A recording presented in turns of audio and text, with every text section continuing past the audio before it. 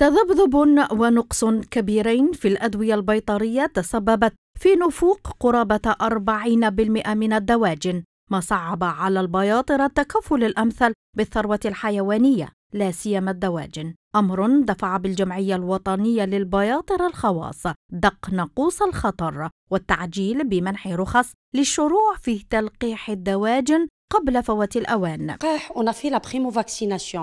وكان لازم علينا نديرو un rappel.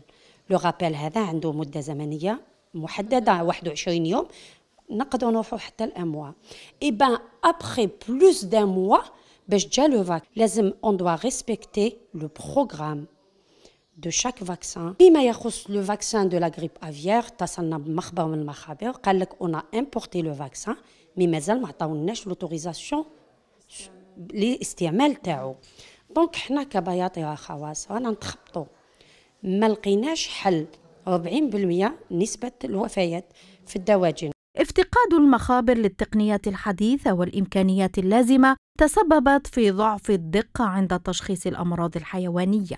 أنا أدق ناقوس الخطر ونقولهم باللي ما عندناش مخابر اللي راهي تقوم بالأخذ العينات بالتشخيص المحكم. واش معناتها التشخيص المحكم؟